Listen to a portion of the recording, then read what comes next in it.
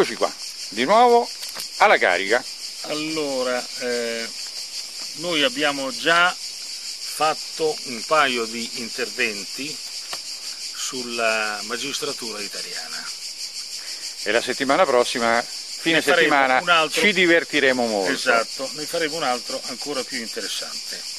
Poiché in questi precedenti interventi eh, abbiamo visto che siamo stati seguiti, perché è veramente uno scandalo la magistratura italiana. eh. Oddio, non è che le magistrature degli altri paesi siano diverse, però, tanto per fare un esempio, la nostra magistratura è istituzionalizzata. È ereditaria, è ereditaria Oltretutto, addirittura. Oltretutto. Ma è un'eredità che risale a dinastie mafiose, non a dinastie ehm, di magistrati. Guardiamo la rossa, eh. che- guardiamo la rossa di Milano, tanto Che dirtene legger- leggermente- fa i pompini nei, nei sottoscala. è leggermente diverso. Ma eh, praticamente, eh, come dire, eh, il riferimento che volevo fare è la magistratura statunitense. Della magistratura statunitense possiamo dire quello che vogliamo.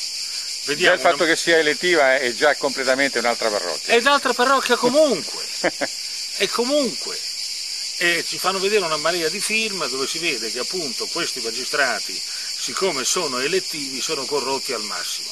La saranno corrotti al massimo, ma non come i nostri, che i quali sono Ma al massimo sono per corrotti tre- per, per due anni. Esattamente, esattamente. Capito com'è la questione? Ecco la differenza fondamentale. Li puoi sostituire. Che, che ne dicono i film? Tornano a fare l'avvocatucchio di, di provincia. americani, Eh, film del, esatto. del Far West e tutto il resto. Qui abbiamo, per fare un esempio su cos'è questa magistratura, qui abbiamo un numero di panorama che vedi il caso parla di un noto personaggio. Diremo quanto prima di che si tratta quando parleremo di quello che c'è scritto in Ah, questo. Malachi Martin, il grande. Quello che ha sputtanato per bene. come dice qui Malachi. Malachi Martin fa luce su questo turbolento aspetto della Chiesa fornendo un ampio e documentato supporto storico. Poiché non mancherà di suscitare discussioni e aspre polemiche, il libro coinvolgerà tutti quanti sono interessati a questo argomento. Questa è la presentazione di un presentatore che ha fatto su un, libro, su un giornale di The Wall Street Journal. Estremamente avvincente, la storia dei gesuiti merita di essere raccontata e Malachi Martin è l'uomo giusto per farlo. Questa è la National Review. Ne parleremo diffusamente perché quando si parla di gesuiti dobbiamo parlare sapendo quello che diciamo, ma quello che non ci interessa in questo momento è un articolo che è stato pubblicato su questo numero di Panorama. Mi hanno ammazzato.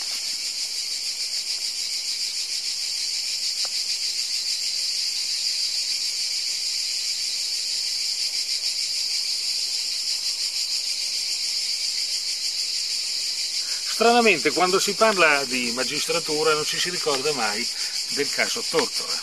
Potremmo parlare di tanti altri casi, ma il caso Tortora è stato emblematico. Tortora era un uomo che dava fastidio, aveva avuto un grande successo, ma soprattutto aveva fatto alcuni A sbagli. prescindere dalle lobby all'interno della RAI. aveva fatto oltretutto qualche sgarro. Il primo è che quando eh, lui eh, aveva lasciato la RAI, diciamo che l'aveva lasciato perché si è scontrata con le lobby della RAI, ma lo si è scontrato perché lui era un uomo molto presuntuoso, pieno di sé, diciamo, ognuno ha i suoi difetti, ma era un ottimo presentatore. E era andato a fare il presentatore a gestire una, eh, una televisione locale milanese. Io me lo ricordo molto bene perché lui attraverso questa televisione faceva una battaglia incessante contro la droga. Questo è il primo aspetto. Il secondo aspetto, quando lui gestiva questo programma buonista per eccellenza, che lo ha portato poi alla fine alla galera, ci fu il famoso terremoto del Belice, dove lui raccolse una marea di soldi. Dopodiché lui fu avvicinato da esponenti della Camorra i quali gli dissero guarda che tu questi soldi per conto tuo non li puoi distribuire, perché questi soldi li distribuiamo noi della Camorra. E non possiamo accettare che un privato distribuisca questi soldi ai nostri sudditi. E lui li cacciò via e dice, oh, però io sono torto, si è trovato dall'oggi al domani accusato di traffico di droga, ma la cosa in se stessa è molto relativa. Non è che lui si sia trovato, si è trovato contro l'intera magistratura, perché chi vuole essere informato si deve andare a leggere la requisitoria del procuratore del di Napoli, di Napoli contro di lui per capire esattamente che questo procuratore era esattamente un uomo della Camorra, affiliato in maniera molto stretta alla Camorra. Cos'era successo tra l'altro? Era successo che era partito un attacco pesantissimo con una serie di arresti di camorristi e mafiosi che eh, riguardavano un paio di cento persone. Quindi il, tutte le cose sono state concordate in maniera tale che arrestando Tortora, l'attenzione che era uomo di successo per queste trasmissioni sprac, eh, strappalacrime che lui aveva con questo suo programma eh, dove eh, la gente si incontrava, eh, italiani che si erano lasciati 50 anni, 60, 70 anni prima, erano emigrati, quella si incontravano e giù pianti di qua, pianti di là, eccetera, eccetera. La Maria dei Filippi antelitteram. Esattamente, Maria dei Filippi ha copiato il programma, ma l'aveva copiato prima di lei anche la ballerina. Sì, sì, eh, la cantante ballerina. La cantante ballerina, quindi era tutto un pianto all'italiana, si piange e tutto finisce lì, ma non è finito per lui, poveraccio. Quindi tutta l'attenzione dell'opinione pubblica fu proiettata su di lui e passarono del tutto inosservati gli altri arresti. Poi è successo un altro aspetto che è estremamente interessante, che dimostra quanto fosse vero la teoria della malattia, del tumore malattia psicosomatica, perché eh, Tortora fu ucciso da un tumore provocatogli dalla sua ingiusta detenzione. Ricordiamo poi che Tortora vinse la causa, però come al solito secondo i sistemi mafiosi della magistratura italiana, dopo anni e anni di persecuzione, perché non a caso la magistratura allunga i termini, serve per minacciare le persone per distruggere, oneste, per distruggere i delinquenti vengono messi, i palesi, vengono lasciati subito in libertà, come quel tale che ha ucciso con incidente stradale due persone. Oh, due, il picconatore, il, pecco... eh, no, il picconatore il di Milano. Di il picconatore di Milano, ne abbiamo già parlato, il picconatore non era, non era Cossiga, questo è un picconatore vero, ha preso a picconate, l'hanno messo in libertà, lo vogliono mettere in libertà perché non è sano di mente certamente. Così lo lasciano di nuovo esatto, a, picconare la me. A picconare. Anzi, gli regaleranno un piccone. Un piccone capito? Di modo che nella speranza che la seconda picconata qualcuno gli spari in testa, però dopo aver sparato al giudice, lo diciamo, mi accusasse il giudice, dimmi a cercare, giudice, personalmente però, dimmi a cercare personalmente, capito? E il picconatore o quell'altro che ha ammazzato un paio di persone e l'ha squagliata è stato messo in libertà provvisoria. Questi vengono messi in libertà provvisoria. Berlusconi invece l'hanno mandato in galera perché si è permesso a fare degli accordi con Gheddafi no? e con Putin, Putin, oltre ad aver presentato una proposta di legge per la rinazionalizzazione della, della Banca, Banca d'Italia. Leggiamo quello che c'è scritto in questo articoletto. Enzo Tortora, aprile 1988. L'agonia mediatica è un'altra faccia del problema. Agli inizi ho trovato nei giornali un atteggiamento colpevolista che soltanto oggi si sta modificando, sottolinea Cagliazza, che è uno che ha fatto. Ma troppo spesso il ruolo della stampa viene deviato, manipolato. Ecco quindi la congiuntura e la congiura, dove il magistrato ha sempre la, il sostegno no, del basista. Il basista è il giornalista generalmente dei quotidiani o dei periodici di quell'area, parlo dell'area catto comunista. Nel catto comunismo ricordiamoci che è il punto d'arrivo della magistratura, e ricordiamo l'iter dei famosi pretori d'assalto, i quali eh, facevano i pretori per col poter colpire i nemici del Partito Comunista e poi quando questi si difendevano in maniera adeguata i pretori venivano nominati ministro, venivano nominati deputato o senatore. Sappiamo tanti di questi personaggi. Come l'amico che dice che nel eh, delitto Moro ci sono i servizi segreti eccetera, no? Sì. Ecco, ma lui imposimato quando era, era il, incaricato più... delle, delle sì. indagini, dove stava il cervello? Eh, Comunque, Se l'era perso? È il meno cretino, il meno delinquente degli altri. Quindi immaginati gli altri. allora, eh, che volevo dire anche su questo, su questo argomento? La, sì, la, eh, la collaborazione stretta tra la stampa e il magistrato. Il magistrato va avanti, se gli va male diventa deputato o senatore, e viene supportato da una certa stampa che deve esasperare Esaltare. Le, te, Esaltare. le tesi del magistrato stesso, il quale si muove sempre con una oculatezza notevole, cioè quello che gli dice il partito. Allora, la logica è quella catto comunista. Perché parlo del catto comunismo? Perché il catto comunismo è l'associazione tra due mentalità affini, eh, affini. Molto, affini, affini e doppie o sono mentalità che fanno riferimento a personaggi sul tipo di Torquemada. Sono, sono una, un binocolo, se le vedi da un lato vedi la macro immagine, se le vedi dall'alto, dall'altro vedi la micro immagine. Allora, è verissimo quello che dici tu, ma io volevo dire un'altra cosa. Volevo dire che nel catto comunismo c'è l'assemblaggio di una tradizione, la tradizione di quelli che bruciavano gli eretici, con la tradizione comunista di quelli che, tutti quelli che... Sono fascisti, che, come me. Io quando eh, ero, eh, mi esprimevo in maniera diversa da quello che era l'ordine emanato dalla velina del partito, ero fascista Esattamente. automaticamente. Esattamente. E potenziati di fucilazione oppure di viaggetto eh, di piacere in Siberia. della Siberia. Allora, Andiamo avanti.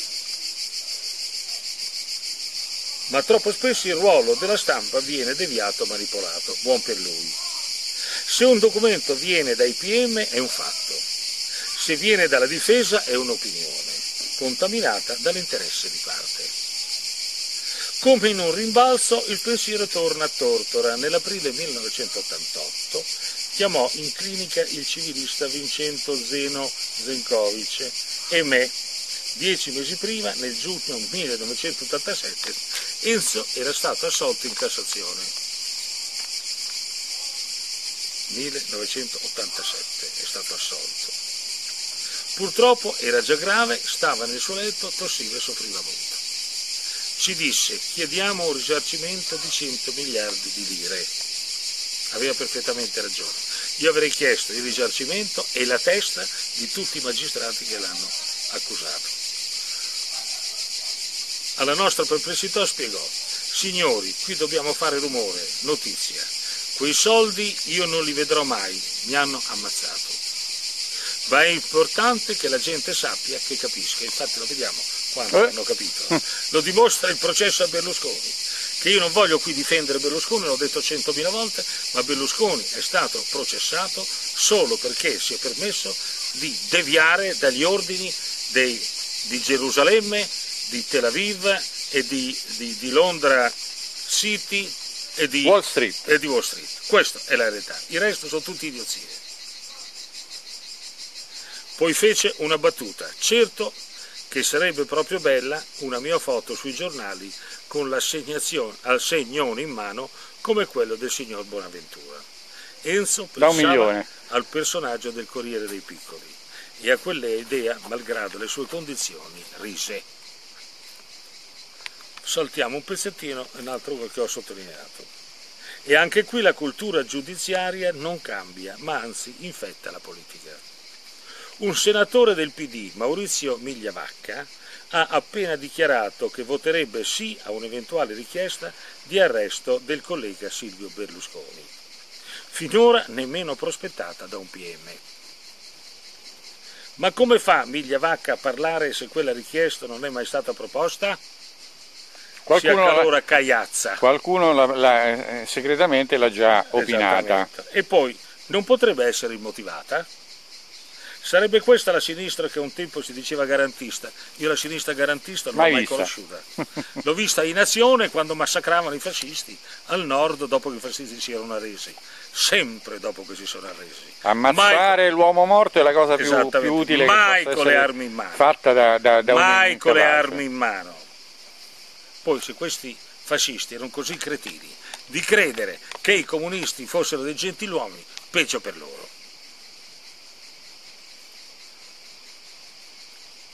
E poi non potrebbe essere motivata? Sarebbe questa la sinistra che un tempo si diceva garantista?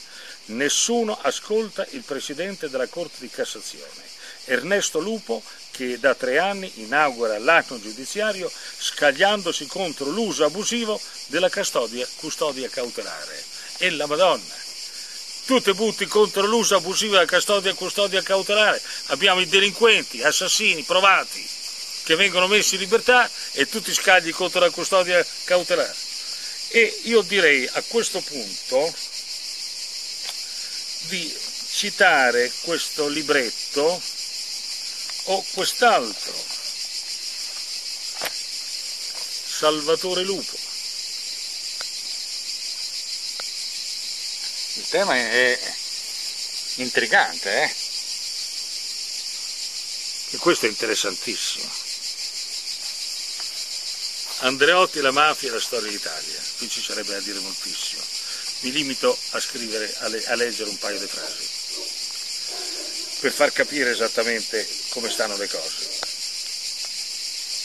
Come successivamente hanno evidenziato i giudici del pool, eh, si parla ancora del pool, qui siamo, il libro è esattamente del 1996, il fallamento dei processi degli anni 60, quelli di Terranova, deriva anche da questo mutato atteggiamento che fa parte di una più generale e indubitabilmente positiva crescita della civiltà giuridica, beato tu che lo, che lo scriveva nel 96. Infine c'è un problema politico. La Prima Repubblica non è lo Stato liberale, non solo manca degli strumenti ma anche della volontà di ordinare a proprio quest'ora di schiacciare la mafia. È una forma di governo debole la cui azione deriva dalla media di forze, gruppi di opinione e di pressione, lobby, partiti, fazioni diverse che dunque non svolta decisamente né a destra né a sinistra, rimanendo sempre più o meno al centro. E ti credo, la mafia è il vero autentico ambasciatore degli Stati Uniti in America, che serve per tenere sotto controllo che vuole scarrare, perché se non accetta di essere giudicato dalla dalla, dalla giustizia italiana composta dai magistrati masso mafiosi, allora arriva il, il, il, killer mafioso, possibilmente partito direttamente su un, treno, su un aereo speciale da Nuova York. No? Arriva e colpisce sistematicamente. Dunque la lotta ricade sulle spalle della magistratura, eccolo qui, scritto nel 1996, vent'anni fa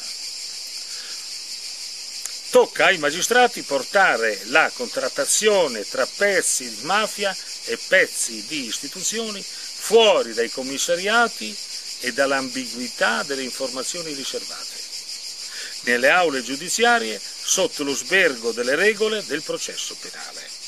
Lo vedete che è tutto qua. Il pentitismo, troppo a lungo considerato come un momento necessario, di caduta della civiltà giuridica va invece inquadrato in un processo di crescita di tale civiltà attraverso il quale viene reso pubblico e illegale un meccanismo confidenziale, discrezionale, di cui si faceva sempre uso e che rendeva possibile ogni abuso. E questo mi ricorda, noi quando ci troviamo a parlare, parliamo sempre di quel grande che è stato Alberto Sordi. Alberto Sordi è stato la fotografia dell'italiano medio. L'apoteosi. Esattamente, la fotografia, lui non era così, lui la denunciava. E ricordo una volta in un suo programma radiofonico in cui lui accusava un tale di grattare. Di grattare? Di grattare, aveva, telefonava mi pare un magistrato, c'è cioè quello che gratta, gratta, gratta. E quelli se credevano, no? Che quello grattasse, rubasse chissà che cosa. Dice no, se grattava il naso. Eh, questo è tipico. No, eh, andiamo avanti. Quindi è la magistratura che deve portare questa nuova civiltà. La nuova civiltà è appunto il processo eh, contro Berlusconi, la caterva di processi che risalgono fin dal momento in cui Berlusconi è salito al governo, quindi una trentina d'anni fa più o meno. Non, e, ci, non eh, ci scordiamo che in piena eh, organizzazione del meeting internazionale di Napoli sì, sì, fu emanato il mandato d'arresto. Io, io, fossi stato eh, eh, Berlusconi mandavo immediatamente i, la Guardia Nazionale a catturare quei delinquenti di, di, di, giudici. Esattamente. Ma immediatamente li mettevo dentro, subito. Esattamente. Perché tu non puoi fare un'azione del genere. L'avrei fatto anch'io. Siccome tu hai dimostrato di essere un debole, comunque ti meriti la pena che ti sei presa.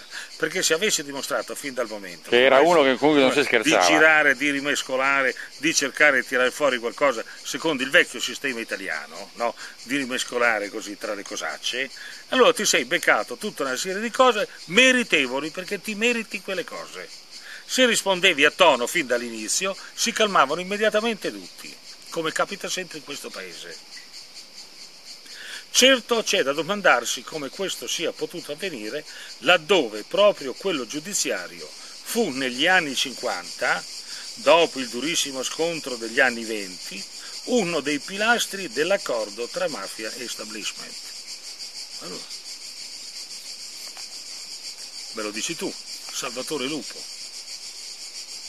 che è l'esatta la magistratura, l'intermediario, fino a poco tempo fa stavano parlando degli accordi Stato-mafia No, adesso sono spariti. Sì, sono spariti. Non, è, non, è, non, è, non era vero niente. Gli accordi Stato-mafia col, col, col, col no, è stato dichiarato ufficialmente. non c'entriamo niente. È stato dichiarato ufficialmente una sentenza pubblica, ufficiale, giuridica, che non è vero. Allora, e questo ci dice che non solo sono avvenuti gli accordi, ma gli accordi Stato-mafia, cioè politica-mafia, sono avvenuti per il tramite della, della, della massomafia della magistratura, la quale che cos'è? La mafia, perché il 50% sono bravi pischelli, sono bravi picciotti che sono stati educati e pagati, picciotti intelligenti, pagati dai capi mafia perché si laureassero.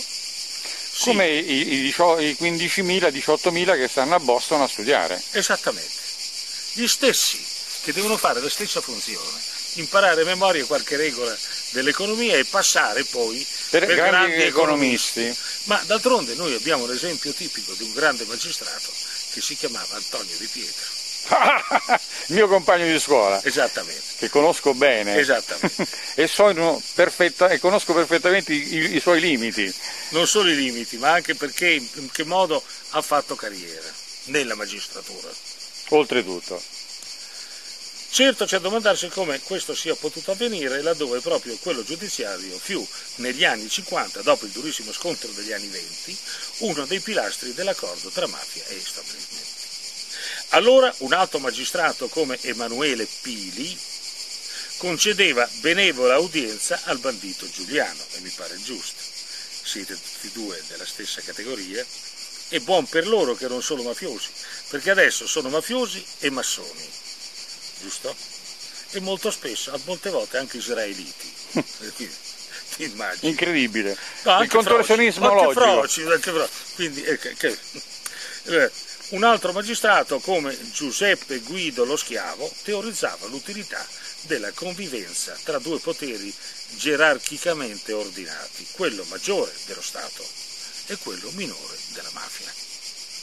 Rifacciamo vedere questo libro, perché Forse qualcuno pensa che me lo vado a inventare. E se la sorpresa con Andreotti, capito? Andreotti era uno dei tanti.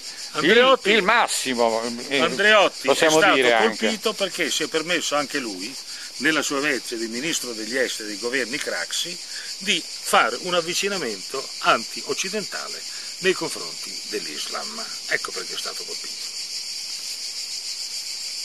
Un testimone e analista di eccezione, Peppino Di Lello, già membro del pool di Chirnici e Falcone e oggi deputato progressista alla Camera, ma che strano, ha recentemente ricostruito la vicenda dei giudici siciliani sin da quell'incipit della Repubblica, quando il magistrato era parte integrante della classe dominante, quando faceva parte di una casta che è stata e resta ancora in molti suoi componenti con indifferenza o con calcolo organica a questa borghesia sempre uguale a se stessa.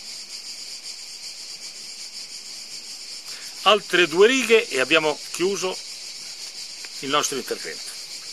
Partecipe dunque la magistratura nella repressione dei movimenti contadini prima, nel sabotaggio della riforma agraria poi. Quest'ultima operazione, generalmente rilevata da osservatori e protagonisti, ha rappresentato un momento essenziale nella recente storia siciliana.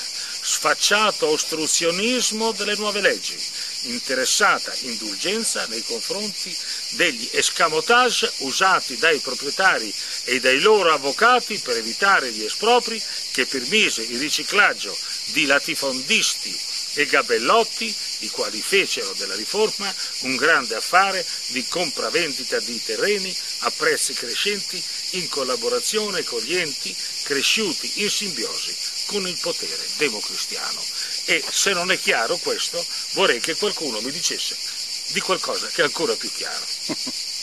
Bene. A bientôt. Oh, è bella questa.